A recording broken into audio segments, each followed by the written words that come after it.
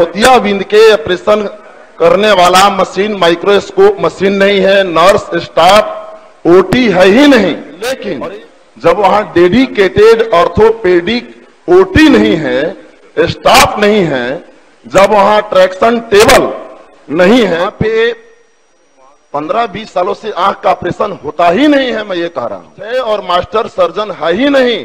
OT नहीं है nurse staff और और माइक्रोस्कोप मशीन जब नहीं है जिससे ऑपरेशन होता है लेंस का पावर बताने वाला ए स्कैन मशीन खराब है। शल्य कक्ष के नवीकरण का कार्य किया जा रहा है। यानी जीर्णोद्धार का नवीकरण का महोदय उसमें काम किया जा रहा है। माननीय सदस्य श्री मनोज मंजिल माननीय मंत्री स्वास्थ्य विभाग। जवाब आया है मैं पूरक पूछ दूँ क्या आपके पास पूरक चला आप प्रश्न के जवाब गए हैं कृपया पूरक पूछिए। जी पूरक पूछता हूँ। सदर अस्पताल आरा में आँख के ऑपरेशन करने वाले तीन मास्टर सर्जन का पोस्ट है जिसमें एक भी डॉक्टर नहीं है। और मोतियाबिंद के ऑपरेशन करने वाला मशीन माइक्रोस्कोप मशीन नहीं है नर्स स्टाफ ओटी है ही नहीं। और ये स्कैन मशीन भी खराब पड़ा है। एक और हड्डी की जहाँ मामला है, उसमें जवाब आया है कि ऑपरेशन होता है, लेकिन जब वहाँ डेडिकेटेड ऑर्थोपेडिक ओटी नहीं है, स्टाफ नहीं है, जब वहाँ ट्रैक्शन टेबल नहीं है, कोल्हू का ऑपरेशन हड्डियों में स्टील नहीं डाला जाता है, ओपन सर्जरी नहीं होता है तो जो डॉक्टर होते हैं, अपना स्टाफ और अपना इंस्ट्रूमेंट ला करके कोई कोई ऑपरेशन करते हैं।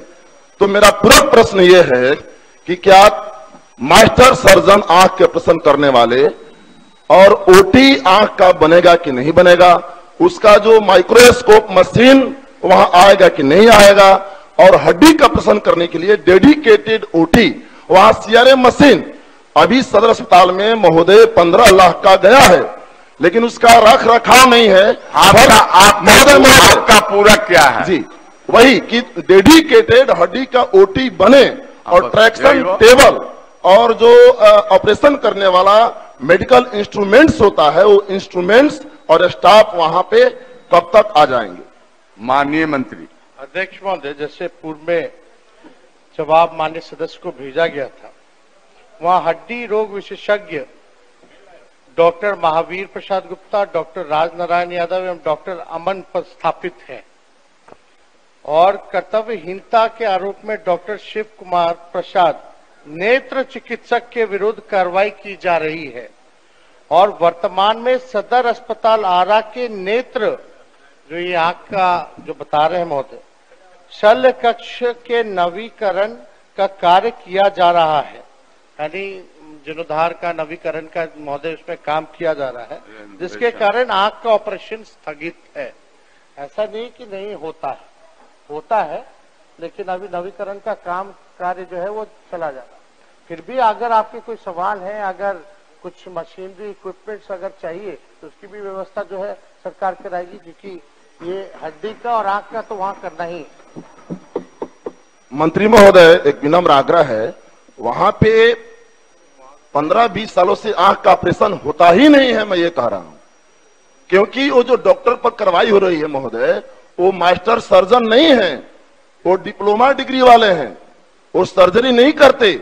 तीन पोस्ट है और मास्टर सर्जन है ही नहीं ओटी नहीं है नर्स स्टाफ और, और माइक्रोस्कोप मशीन जब नहीं है जिससे ऑपरेशन होता है लेंस का पावर बताने वाला ए स्कैन मशीन खराब है तो ऑपरेशन कैसे होता है महोदय? माननीय मंत्री। लेकिन फिर भी स्पेशली क्योंकि हम वहाँ के प्रभारी मंत्री हैं तो एक बार हम भी रिव्यू जो है पर्सनली कर लें। बहुत अच्छा। ये लो मुँह मीठा करो। आज मैंने अपना जॉब छोड़ दिया। अब हम पूर्णिया वापस जाएँगे। जॉब छोड़ दिया है? मतलब? ये घर कैसे चलेगा? हम करेंगे क्या? और माँ बाबूजी क्या बोलेंगे? इसलिए मैं एक और मिठाई का डब्बा लाया। अपने बिज़नेस के लिए लोन अप्रूव हो गया। अरे लोन अप्रूव हो गया वो तो ठीक है लेकिन पूर्णिया में हम रहेंगे कहाँ? अपना घर भी तो नहीं है वहाँ। इसलिए तो एक और मिठाई का डब्बा अलग से लाया हूँ। हमने पूर्णिया में घर ले लिया है। पूर्णिया के ई होम्स पैनोरमा में। पूर्णिया में पैनोरमा ग्रुप लेकर आए हैं। ई होम्स पैनोरमा बड़ा घर आलीशान ज़िंदगी और अत्याधुनिक सुविधाओं के संग। अरे अरे अब क्यों मुँह मीठा करवा रही हो? क्योंकि हम घर वापसी जो कर रहे हैं। घर वापसी की खुशी। पूर्णिया में ई होम्स पैनोरामा के संग। E homes panorama luxurious, lifestyle redefined.